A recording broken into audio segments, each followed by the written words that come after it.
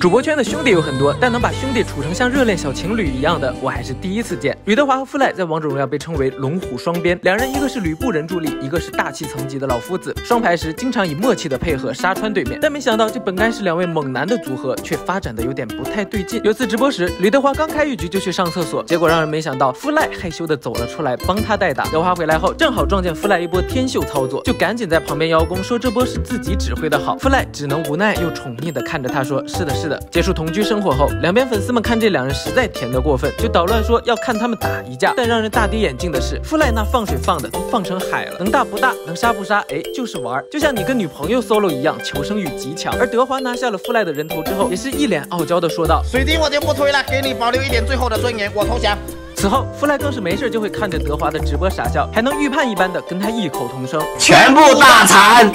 而德华也很依赖的习惯性叫弗赖双排，一句赖拉我成为了王者最幸福的上分攻略。就这样，两人的感情越来越好。但没想到，在一次线下赛中，他们却大打出手，异常惨烈。为了赢下比赛，吕德华选择了本命英雄吕布的圣诞套装加十点攻击力，而弗赖也不甘示弱，同样用绝活老夫子的圣诞皮肤加了一百二十点生命值。紧接着在热身之后，双方又是疯狂叫嚣。你在教我弗赖做事，我没教他做事，但是我喜欢这方面，我教别人做事看样子一场腥风血雨已是无法避免。